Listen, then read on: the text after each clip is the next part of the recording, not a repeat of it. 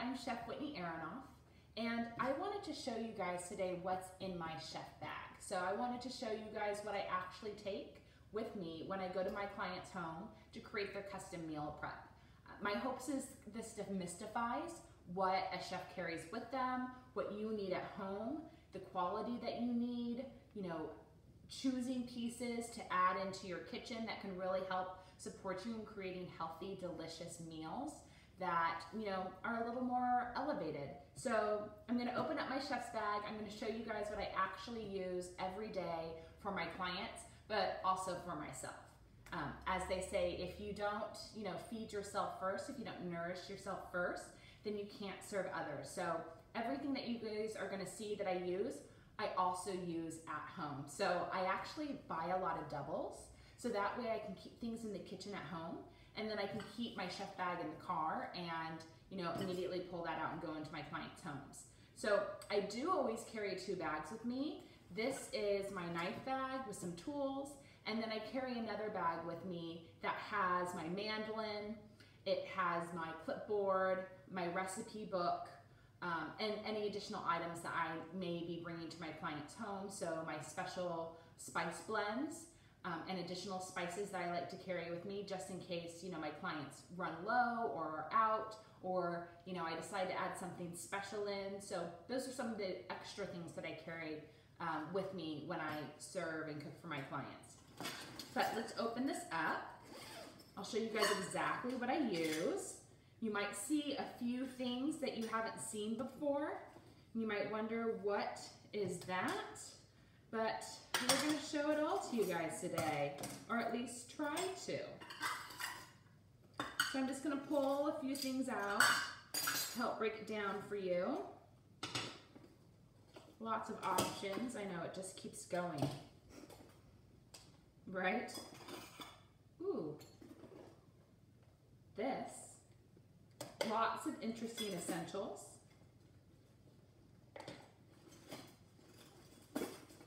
And I think we can wrap that up. I think, oops, Will pull that out just in case. And I think that's good. All right, so these are gonna be the tools that I wanna show you guys today. We'll get this out of the way. All right, number one, obviously when you are preparing anything, you wanna have a cutting board out. So this is essential. I use this to keep the cutting board in place. So a lot of people's cutting boards will slip and slide on their counter and that's dangerous when you're working with a knife, especially if you're mincing, chopping, um, really working in general. You wanna work with a, with a surface that is you know solid, that you can really count on staying still. So this you can get at any craft store. Um, I cut it the size of a full cutting board. And then when I work, um, you know, everyone's home has different size cutting boards. And I obviously prefer wood cutting boards. Um, if I'm working with a smaller cutting board, I just fold it in half and it stays right here. Then if I'm working with a larger cutting board, you know, I open it up and put it right on board. So um, it's super easy to wash in the sink. Obviously it's turned pink because I worked with a red plastic cutting board that dyed it. Um, but it's just fine. You'll have it for many, many, many years. Definitely worth going to the craft store, picking up a roll. I use this all the time.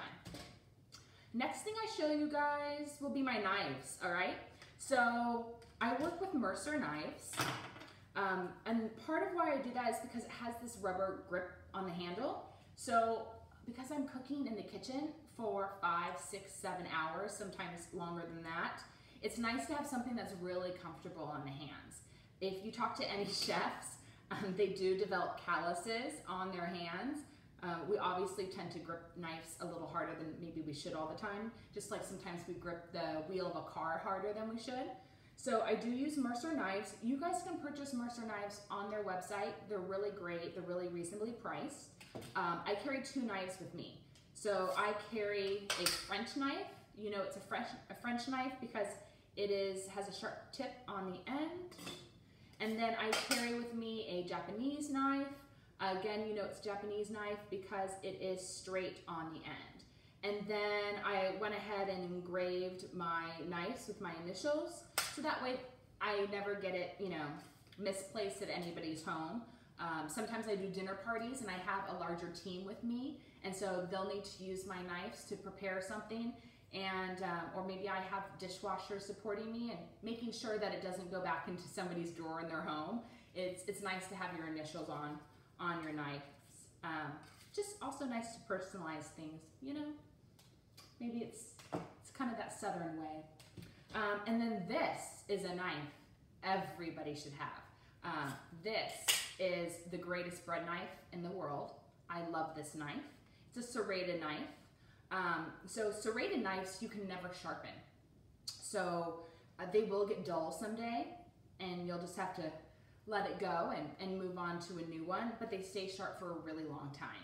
And I obviously use this for more than just bread because if you know me and my cooking style, I don't do much bread. So this is really great for slicing anything. Um, tomatoes, anything that's soft um, and delicate, this is really great for. So I love my serrated knife. I do use it all the time. And then this is a knife sharpener. So it's, it's like a tuning fork. So it's not gonna sharpen your knife that much, but it's gonna give it a little more if you need a little extra support because you're noticing your knife is getting dull. Um, so I'll give you an example of how you would do it. So you can hold it this way, you can hold it this way. There's lots of ways that you can hold it, but you're just giving your knife a nice little sharp. It's just giving your knife a little bit. But if you really need your knife sharp, um, either you have to get a block, um, soak the block and block it yourself, or you need to take your knife to a specialty place to get it sharpened. Um, a lot of farmers markets have sharp uh, knife sharpeners. A lot of chef stores have nice uh, knife sharpeners. Um, Williams Sonoma has knife sharpener. So find a place that you like and take it there consistently. So that, I would say those are my mainstays on top of this. Um, these are kitchen scissors. Um, and again, I use them for everything. So I'm the type that per person when I open a package, whether it be brown rice, cassava flour, I like to use my knife so it has a clean cut so I can reuse it over and over again and it's easy to get into. Um, a lot of herbs, I cut the herbs, so chives, you'll usually cut the chives. Um, sometimes you wanna cut basil using this. Um, when I open bags, let's say I had my chicken thighs vacuum sealed or my filet mignon vacuum sealed, uh, it's a lot easier to slice into that meat, especially like lamb chops are usually vacuum sealed. Um, and the best part of this is they easily detach so you can clean them really well. And they're not gonna get dull like regular scissors um, get dull if you use them in the kitchen. These aren't. And they're not gonna get weird and sticky because they're so easy to clean. So I really suggest a pair of quality kitchen scissors. Um, this is one of the best investments that you can, can add to your kitchen, and they're only $15. So again, these are Mercer, $15, totally worth it. Um, so these are other things that I always keep with me. Um, obviously a peeler. So potatoes, carrots, cucumbers, um, you name it, I use this peeler. Um, I prefer the wide peeler. You're gonna get a lot more done than if you use that long, narrow one, which I have as well because that's what I grew up using on carrots. But this is a lot more efficient. And this one's open table from Williams Sonoma, but you can find tons out there. They stay sharp for many, many years. Uh, ice cream scooper. I know, you're like, why do you need an ice cream scooper? Well, I do make a lot of homemade ice cream, but I use these for making meatballs so I can get like a consistent shape. I use this when I wanna make any, um, any like nut ball or granola bar or any you know, healthy raw dessert treat and I want again to create consistent shapes. Um, great for making cookies. Anytime that you want to roll anything into a ball or you need to smash anything or basically anytime you want to keep a consistent size, this is really great. Um, it's nice to buy larger ones as well. So if you're doing a dinner party and you want to make sure everyone gets the same amount of mashed potatoes, you can use an ice cream scooper and then that way scoop it onto the plate and then kind of shape it that will allow everyone to get the same serving size. So um, really invest in getting some ice cream scoopers and you definitely want to get the kind with this handle that helps you scoop it out. It's really nice.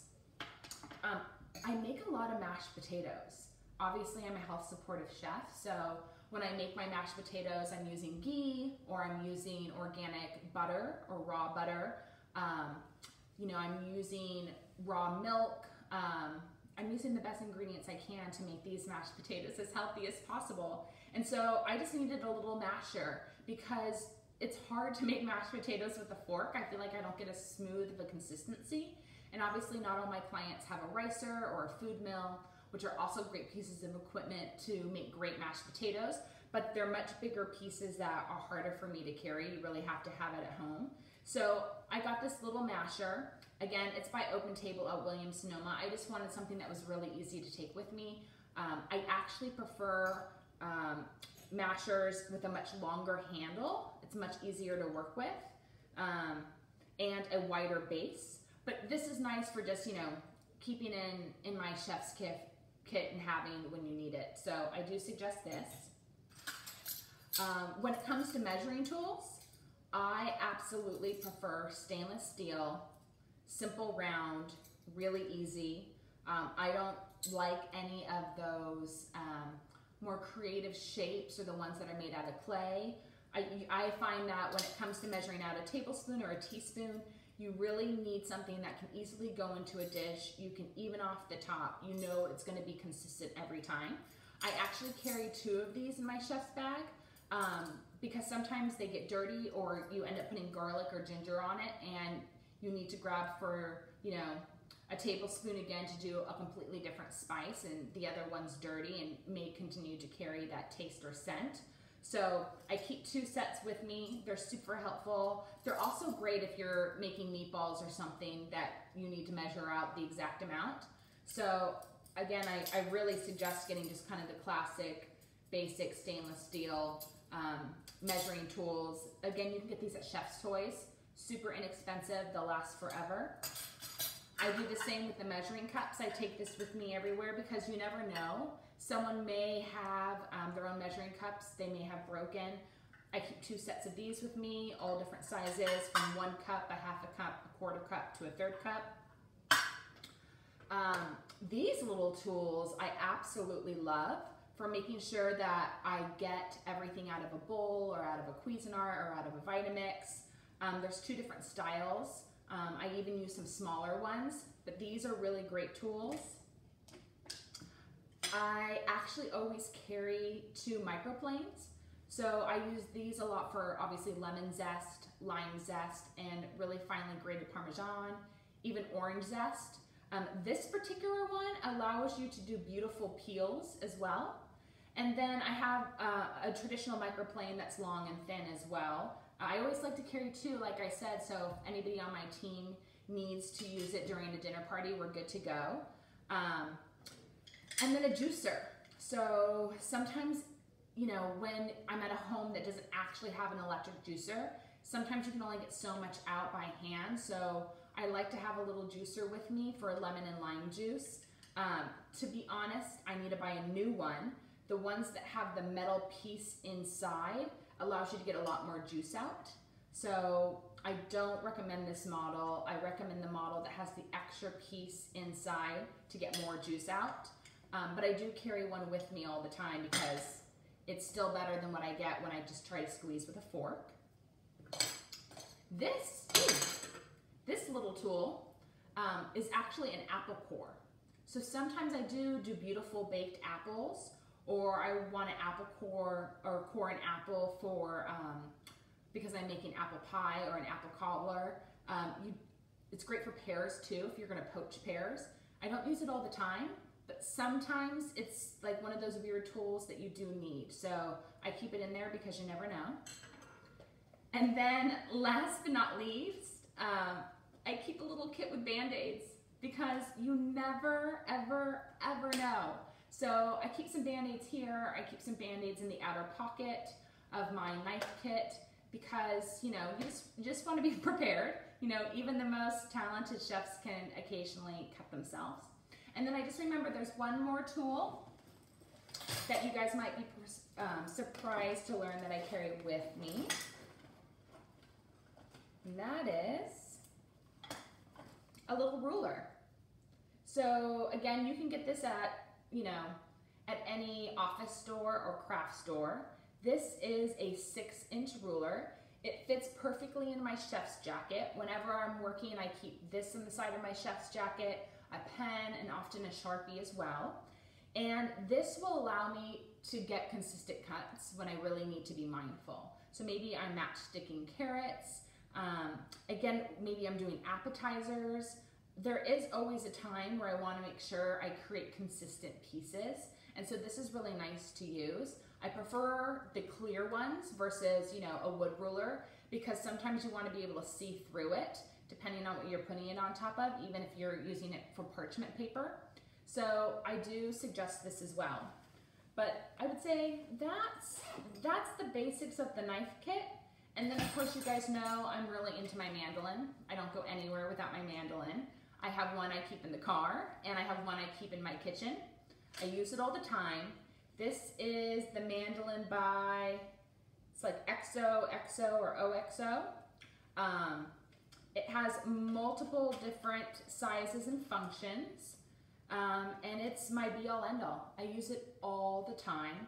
Um, this is the most steady of all the mandolins I've seen out there. Um, it's the safest of all the mandolins. I definitely suggest this one over a Japanese mandolin or, um, you know, you'll find with some mandolins that you adjust the blade with a little circular piece underneath the blade and there's no directions, meaning it doesn't tell you this is gonna be a thin cut, this is gonna be a thick cut, versus this one you just control up here and it tells you a fourth of an inch, a third of an inch, a half an inch, and it's easier to see how much you're opening it up and how much you're closing it.